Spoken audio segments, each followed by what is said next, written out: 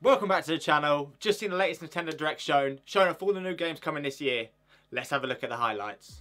So to kick things off, showing us the new Fire Emblem Warriors game. Looks like they're going for a similar style to what they did with the Hyrule Warriors Zelda one, where they actually tied the mainline story in. So this being based around the Three Houses game.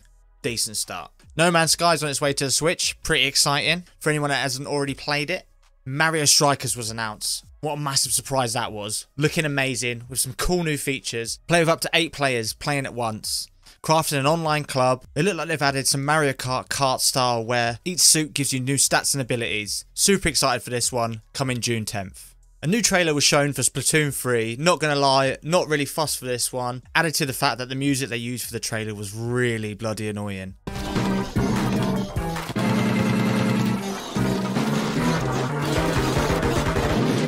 Just looks like it should just be DLC for the second one, but I know there's a lot of people excited for this, so I'm not going to rag on it. A couple of full remakes and other announcements were mentioned. Front Mission 1 and 2 are coming. Star Wars The Force Unleashed, the Wii version, weirdly enough. Assassin's Creed The Ezio Collection, and SD Gundam Battle Alliance. And Disney coming swinging with a new kart racer. I did like the look of this. Would have liked to see you be able to drive as, I don't know, Darth Maul and Captain America or something, but who knows, maybe some DLC will come later on down the line. The remastered version of Chrono Cross was shown off, which we had heard being rumoured, but now's the thing. I know a lot of fans will be happy for this one, coming April 7th. Then showing us some more footage of the new Kirby game. I must admit, the more I see of this, the more and more I can't wait to play it. Reminds me a lot of Mario Odyssey, in so many ways, showing off some of the new features of how some of the traversal will take place, using the copying ability in mouthful mode with some nice new fighting styles as well. Some new collections. The Kingdom Heart games are all coming. Cloud version for some crazy reason. Klonoa is coming to the Switch, an old classic. Portal 1 and 2, which I'm personally really happy to see.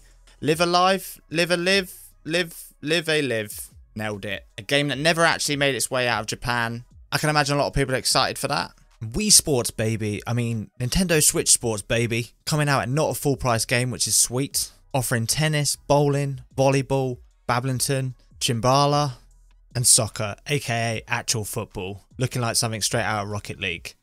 They're not using Mii's in this, which is a bit weird, considering they've just used them in Mario Golf, but hey ho. Games have online leagues to go against people around the world. They announced Golf coming at a later date. Pretty excited for this one. There's a new update coming for Metroid Dread, the Dread mode, which is basically a one hit kill, and Rookie mode, which I'm sure some people will be more than happy for. Earthbound 1 and 2 are coming to the Switch, which I know a lot of people have wanted for some time now. Then Mario Kart 8 Deluxe DLC got announced. Five years late, but who really cares? 48 tracks coming from past Mario Kart games.